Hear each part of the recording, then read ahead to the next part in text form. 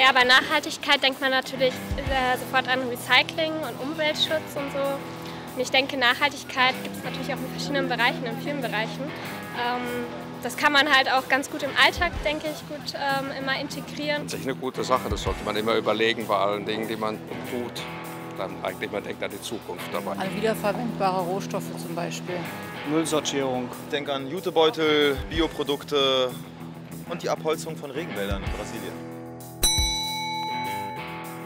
An sich äh, ist das schon wichtig, aber ich meine, ich sehe da mehr auch so die ganze Gesellschaft. Ich meine, die muss man verändern. Dass ich halt wirklich nichts wegwerfe, Dinge wieder benutze, bis man sie halt nicht mehr verwenden kann. Möglichst wenig Plastik töten, vernünftige Sachen kaufen und nicht so viel kaufen. Zum Beispiel, dass man nicht überall, also kleine Strecken immer mit dem Auto fährt, sondern auch mal das Fahrrad nimmt. Ja, indem ich möglichst wenig Energie verbrauche.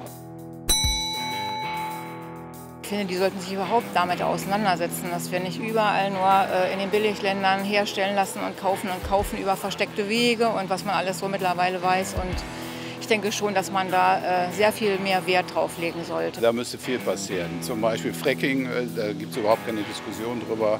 Das ist Unsinn, da wird viel kaputt gemacht, das hat mit Nachhaltigkeit nichts zu tun. Ich glaube, dass man vielleicht mit dem Verkehr noch ein bisschen mehr regeln könnte, dass zum Beispiel die Autos noch ein bisschen stärker aus den Städten raus verbannt werden. Für die Besteuerung kann man sehr viel machen eigentlich. Das wird zum Teil gemacht, aber müsste wahrscheinlich viel radikaler sein eigentlich, dass solche Sachen, die stark belasten, eben dann äh, Zoll erhoben wird. Ich glaube, wir müssten dafür äh, die Wirtschaft mehr regulieren, von der Politik aus gesehen.